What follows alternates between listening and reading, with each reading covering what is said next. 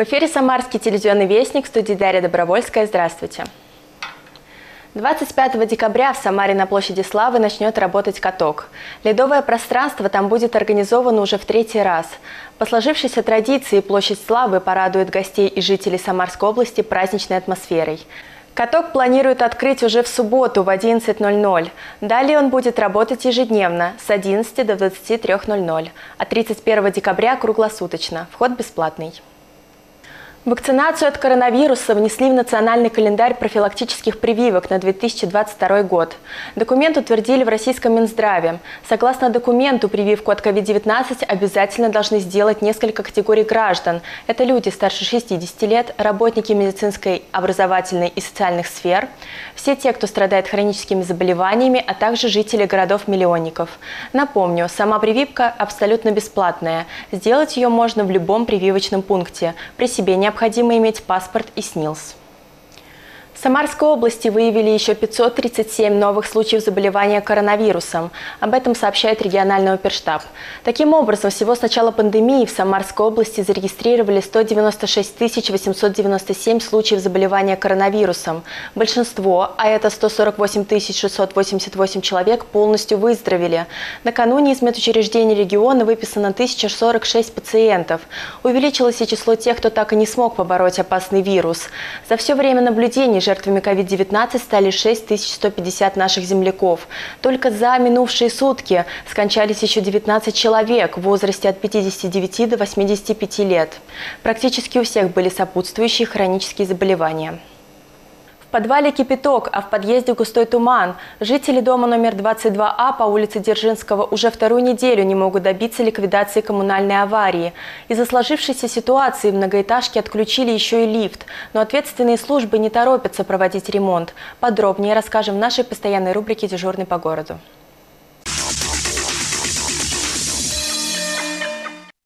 Перила в инии, а пол во льду. И так здесь уже вторую неделю рассказывают жители. Говорят, в подвале прорвало трубу горячего водоснабжения. Люди неоднократно обращались к коммунальщикам, но это ни к чему не привело.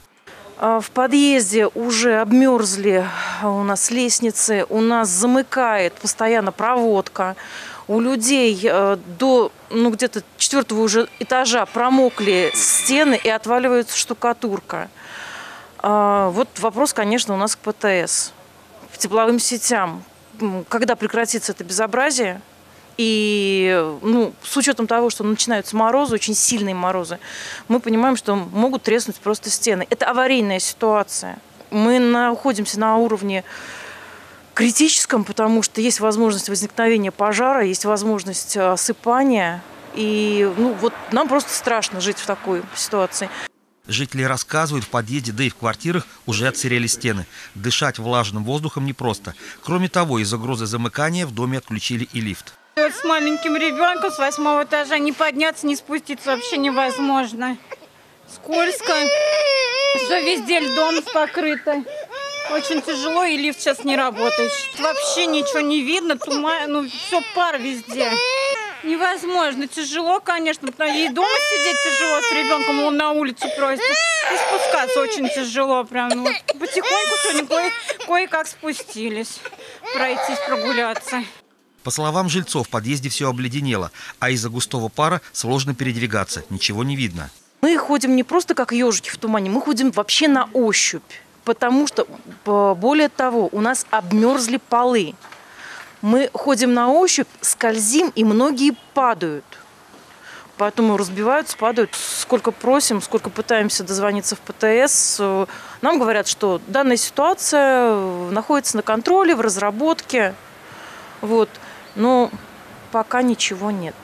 Жители всерьез волнуются, ведь от постоянной сырости стала осыпаться штукатурка и появилась угроза короткого замыкания. Люди просят обратить на них внимание и помочь в решении проблемы. Дмитрий Павлов, Екатерина Алексеева, Олег Галочкин, СТВ.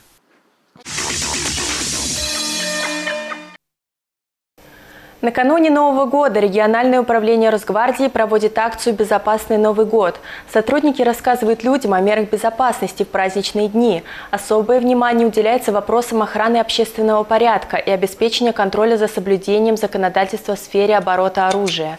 Так, в частности, сотрудники подразделений лицензионно-разрешительные работы обращают внимание владельцев на то, что алкоголь и оружие – вещи несовместимые.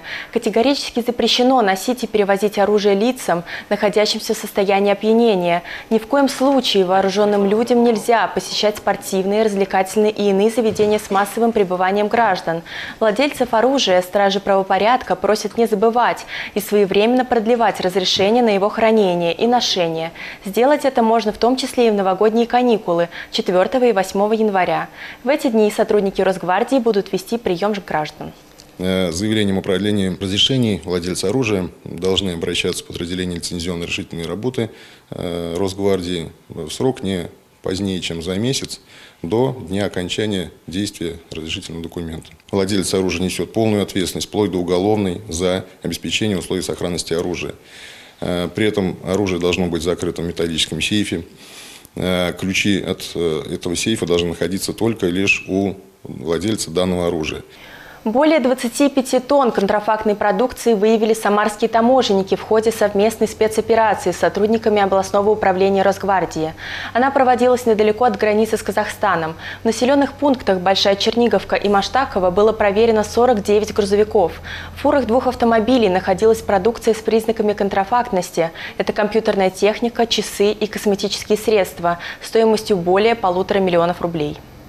Задержание грабителя в Тольятти, опасный выезд на встречку и ДТП с пострадавшим в Самаре. Подробнее об этом расскажем в обзоре происшествий.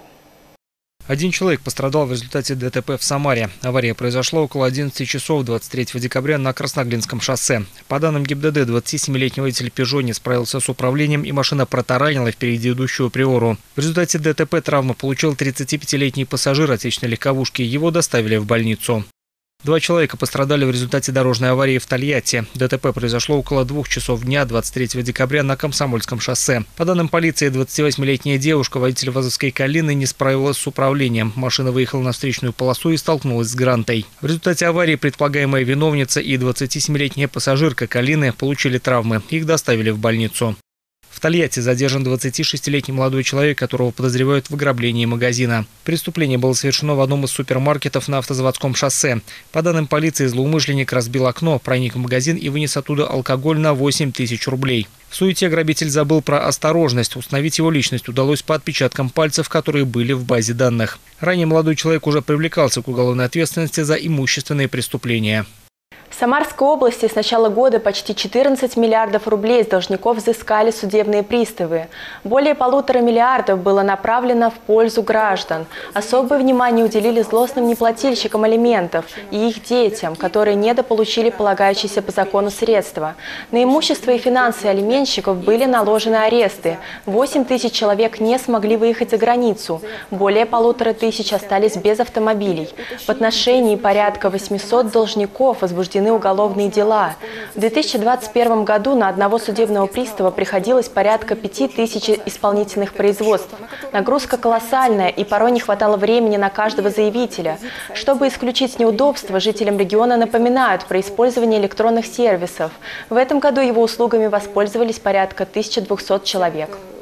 Сейчас всю информацию можно получать в рамках цифрового исполнительного производства. Различные заявления, жалобы, Э, поданные в порядке подчиненности и ходатайства, можно направлять с помощью сервиса «Цифровое исполнительное производство». Данный сервис реализован э, в рамках работы единого портала государственных муниципальных услуг. В личном кабинете на портале гражданину доступны электронные копии всех процессуальных документов, которые выносятся судебным приставом в рамках исполнительного производства. Поэтому настоятельно рекомендуем всем гражданам пользоваться данными услугами. Ну что ж, пятница. Самое время задуматься, как провести ближайшие выходные. О культурных событиях Самары расскажем далее в нашей рубрике «Афиша». Философские размышления об образах, которые мы порой примеряем, история о хитрости и фальши и семейной бед длиною в десятилетия, а теперь обо всем по порядку. Философские размышления об образах, которые каждый из нас хоть раз примерял в жизни. «Три маски короля» – так называется балет-притча Юрия Смекалова на музыку Михаила Крылова. Премьера этого спектакля состоялась в прошлом году и имела большой резонанс. Уникальная возможность увидеть постановку у жителей и гостей города будет 25 и 26 декабря в Самарском академическом театре оперы и балета. История о хитрости и фальше. 25 и 26 декабря в Самарском драматическом театре состоится премьера комедии «Тартюф». Та самая интерпретация классики, о которой многие мечтают. Хитроумный интриган Тартюф проник в семью Аргона, разбогатевшего буржуя, у которого вдруг возникла потребность подумать о душе. Постепенно приторные речи захватывают мысли и сердце Аргона, вытесняя оттуда любовь к родным и заставляя забыть осторожность. Зрителям представят роскошные костюмы, поражающие воображение декораций и блестящую актерскую работу. Историю о семейном уюте, долгий рождественский обед 25 декабря смогут увидеть жители и гости города в театре «Самарская площадь». Действие происходит в 70-х годах 19 века в штате Иллинойс. Молодая семья Бейердов строит новый дом. Новоселье приходится на Рождество. И этот обед будет длиться 90 лет. В семье родятся и вырастут дети, сменятся времена и несколько поколений, но традиции и тепло сохранятся. Это лишь часть культурной программы, которая ожидает жителей и гостей города в ближайшие выходные. Во время культурного досуга не забывайте и о своем здоровье. Больше времени проводите на свежем воздухе и берегите себя. В выходные в регионе будет по-прежнему холодно, возможно метель. Так, в ночь на 25 декабря столбики термометра опустятся до минус 17 и минус 22 градусов. В восточных районах будет еще холоднее, минус 23, минус 28 градусов. В субботу будет облачно. По западной половине небольшой, местами умеренный снег, метель. Будет дуть южный ветер со скоростью 8-13 метров в секунду.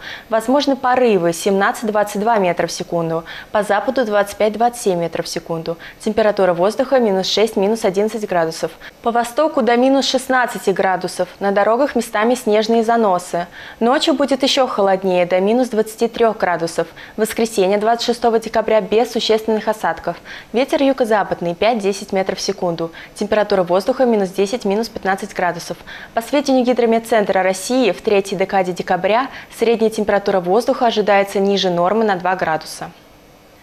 Это были все новости на сегодня. Интересные программы можно также посмотреть и прочитать на информационно-аналитическом сайте gaslimaski.ru. Смотрите наши новости на канале YouTube. На ваших экранах QR-код. Сканируйте его камеры приложения. Мы же с вами прощаемся. Всего доброго, до свидания.